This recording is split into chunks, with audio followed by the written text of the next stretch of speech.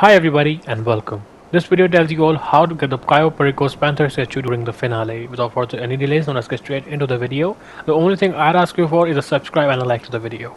The first thing is that all the players who will now buy a Kosatka, this is the best time to buy the Kosatka as it is required to play the Cayo Perico heist. The Kosatka is known as a submarine and it is a must to play the Cayo Perico heist. Now once you buy the Kosatka and do the Cayo Perico heist for the first time, it will 110% give you the Panther statue. Simply buy the Kosatka or if you do not have any active Cayo Perico heist, if you already have the Kosatka but do not have the active Cayo Perico heist, just simply start playing the Cayo Perico heist and you can just get the Panther statue at once only. In case you have an already active Cayo Perico heist before today, today's date is the 17th of November, you will need to cancel the heist.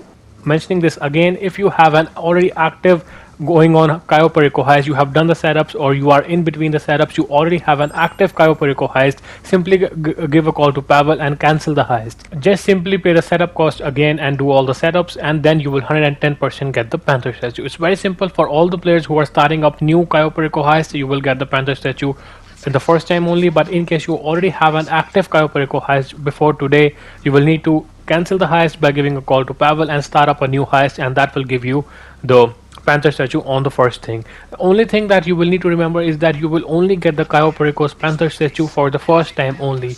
In case you keep on playing the Cayo heist finale again and again, then you will not get the Panther statue. It's only for the first time. Remember this and then that is the only thing. It's very simple.